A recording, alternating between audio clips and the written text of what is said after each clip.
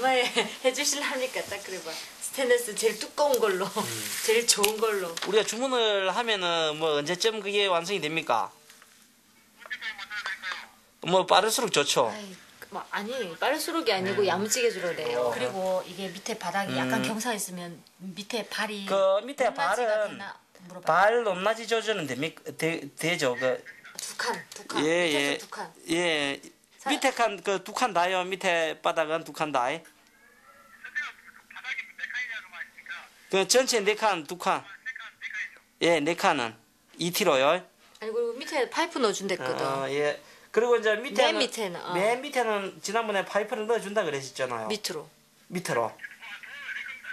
예, 그래 보강해 주시고요. 그러면요. 예, 알겠습니다. 예, 예. 아, 됐다. 해결했다. 시킨 대로 다 했죠? 네. 당신 옆에서 말하는 네. 대로 나가. 근데 현금 이야기 해도 뭐 구두쇠 남편의. 꼼꼼히 아내. 환상적인 궁합이다. 다음 날 아, 지태. 네? 지태, 찬우. 너 사자석 들고 나와봐, 둘 다. 작년 봄 서당에 들어와 사자수화 공부를 거의 다 마친 지태와 찬우. 이제 다 배웠는데 깨웠나? 잘 몰랐니 너? 책을 들고 나오라는 건 곧 책거리가 있다는 얘기다. 저번에 분사까지 어 체크를 네가 먼저 하자. 네가 먼저 해야 될 수밖에 없는 게 너희 어머니가 아까 전화를 하셨는데 음, 너 책거리를 빨리 하고 너희 어머니가 저 네 졸업식 때까지 들어와야 되는데 일본으로 또 가셔야 되는데 그러면 언제 체크를 해야 되나? 날짜 딱 정해져 버렸지, 그지? 어 들어가. 민석이도 들어가. 오늘 내일 하고 있었는데 내일이 바로 그날이 됐다. 치태야 확실히 해야 돼. 너 시간이 없어. 그전에는 시간이 그 이후에는 시간이 없어. 무슨 말인지 알겠지? 지금 이 상황을 우리는 알 거야. 얼마나 중요한지. 부담 100배인 지태.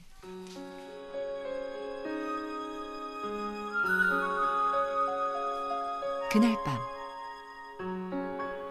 이 하선지가 아주 안 좋은. 뭐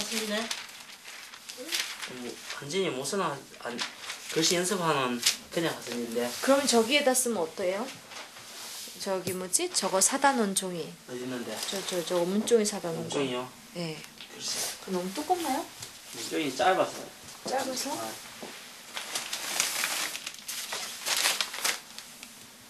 작품용인데. 그거는 쪼개야 돼. 한번 연습하시고 하시면 한밤중인데도 잠자리에 들지 않는 부부. 까다롭게 화산지 고르는 걸 보니 연습용으로 쓰는 건 아닌 것 같은데 이걸 어떻게 빨아들이나 보고.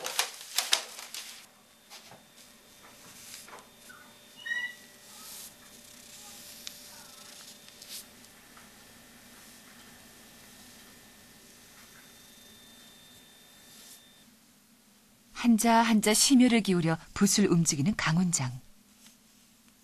쓰시는 게 뭐예요? 아, 저 우리 내일 책거리 그러니까 강하는 그 방문 쓰는 거예요.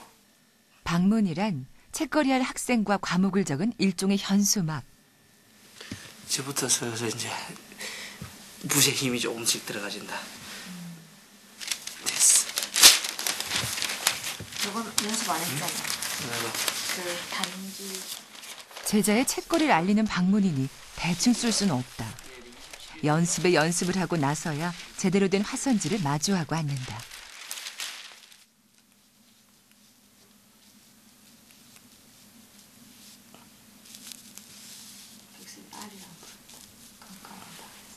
조금 부담스럽다. 다 먹었으니까 혼자 쓸 때는 천재다. 전자차예요? 그러니까 애들이 얼마나 강할 때 떨리겠냐고. 실력이 있든 없든 그래도 애들을 가르치는 선생님인데 그 애 내가 가르치는 학생 이름 하나 그런 그 좀 정성껏 써야 되고 사실 또 애들 보는 데서는 내 힘껏 좋은 글씨를 애들 앞에 보여줘야 되지 않, 않겠어요? 그러니까 그렇게 하려다 보니까 더 신경도 쓰이고 지태가 서당에 온 건 작년 봄. 어느새 아홉 달이 지나 사자 소학을 떼고 책거리를 한다. 그간의 땀방울이 좋은 결실을 맺길 부부는 바라고 또 바란다. 같은 시각 지태방엔 불이 환하다.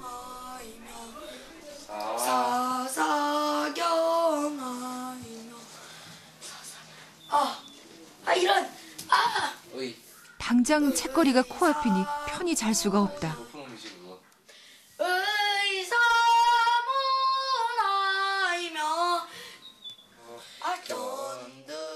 함께 생활하는 형이 지태의 복습을 돕는다. 막상 시험을 앞에 두니 부족한 부분이 자꾸만 떠오른다. 아 진호도 잘 못하는데 진우 해줄까? 어 가져와 해봐 진호라 인지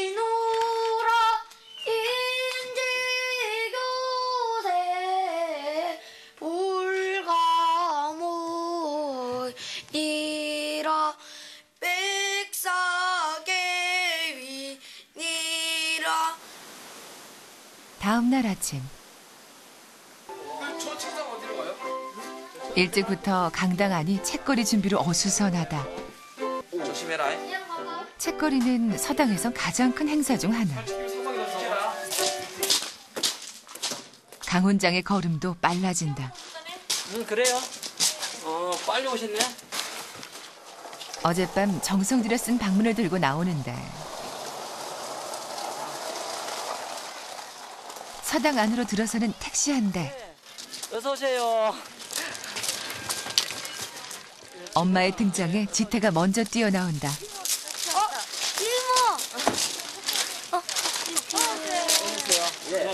들어오시죠. 예.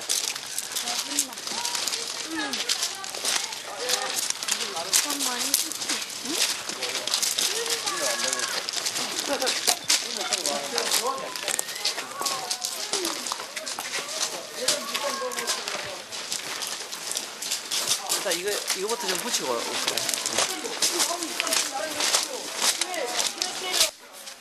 책거리의 시작을 알리는 방문까지 붙인 걸 보니 책거리가 이제 거의 임박한 것 같다. 놓고 그래서 이제 인사시키러 가야지.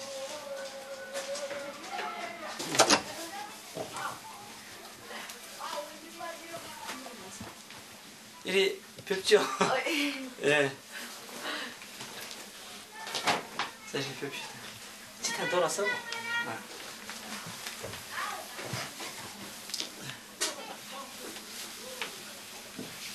예, 앉으세요. 자, 잘 지내셨어요?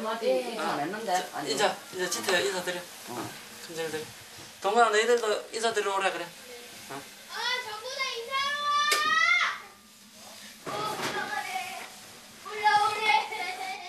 아홉 달 사이 아들이 참 많이 의젓해진 것 같은 엄마다. 아, 이모가 계셨네요. 나는 몰랐어요. 한편 아내 동범 씨는 주방에서 따로 준비할 게 있다.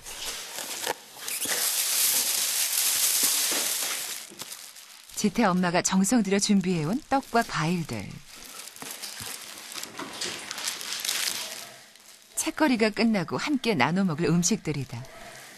원래 예전에 책거리 하면 이제 그 가르쳐 준 사람의 고맙다는 표시로 그 부모님이 떡을 해오셨대요.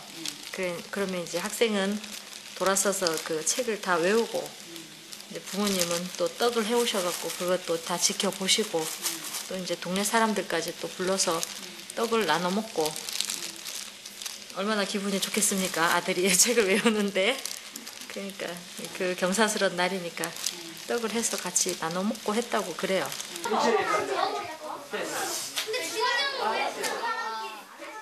주인공을 제외한 나머지 학생들이 자리를 잡고 있는 가운데 지태가 모습을 드러냈다. 내가 일어서란 건 이유 알 거야. 몇좀 바로 해.